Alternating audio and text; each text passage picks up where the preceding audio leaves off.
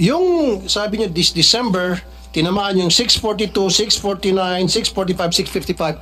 Are these all from Iloto? Hindi po, last night lang po yung iloto.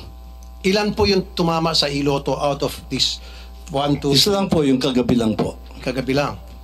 Okay. What game? What, what game yun? Yung kagabi? 6... 6.55. 6.55. 600 million kasi yon, Senator Coco. Quick na lang, Senator Coco. Okay. Etong picture na ito, very controversial ito ngayon sa social media. Edited daw ito. Yes, Your Honor. Edited. Bakit kailangan i-edit? Uh, we have to protect the identity of the winner. Meron po nagreklamo sa amin one time, we covered the face, eh yung damit naman po ay nakilala. So, uh, nagreklamo siya, sana naman daw po, wag ipakita naman po yung damit. So, yan po ang reason niyan, and I agree, it's a very poor editing, pero the objective is to conceal the clothing na ma-identify sa kanya. So, ibig sabihin, so inamin nyo, inedit to, pinalitan yung clothing. Opo, Bakit kinakailangan palitan ang clothing? Napaka- Again, again, uh, part po yan ng pag-conceal kasi na-identify po yung damit. For example, kung at that day, nag, yung mga kapitbahay po eh, nag, ano eh, nag, uy, yun yung suot niya, ganyan. Or kung nakapag-selfie siya, meron yung pong nagreklamo sa amin, favorite clothes daw kasi, kaya nalaman siya. So, Your Honor, it's, uh, we, if there is something to apologize, it's the poor editing. Uh, but I think it has served its purpose of concealing the identity, Your Honor. So, at least inamin nyo, ayan, marami kasi mga nagtatanong, nagsabi, purang pagka-edit. I'm so, sorry, we're not very ito. we're not very good at editing the clothes. Pero yung tao hindi edited. Hindi po, totoo po Tunay na yan. tao to. Tunay na tao po yan.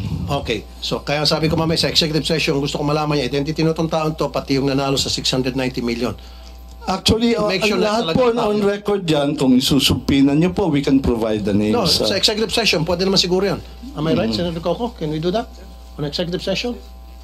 Yes, Mr. Chairman, uh, we will let's make it a strictly executive session. Yes. Na, uh, given on the part of the Senate, limitado yung mag-attend at saka identified natin. And then, of course, kami, liability na namin yung kami pa ang source ng leakage. So. Like I said, uh, Mr. Robles, kasi nga po, may clamor na malaman yung katotohanan. Kasi marami sa mga mananayan nagsasabi, yung nanalo ng 690 million, hindi raw yung legit na mananaya, kundi galing doon sa tropa niya. I'm sorry, I'm gonna repeat this again. Yung pong kumakalat na balita, galing doon sa tropa niyo na nag-invest ng 30 million para makuha nga itong 690 million.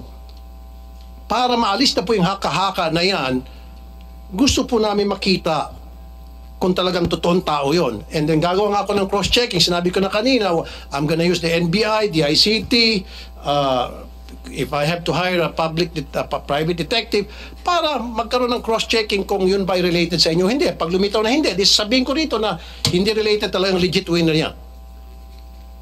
You agree, sir? Very good. Okay, Senator Coco, meron kayong gustong idagdag. Ah, siguro, bumalik tayo ngayon doon sa komisyon.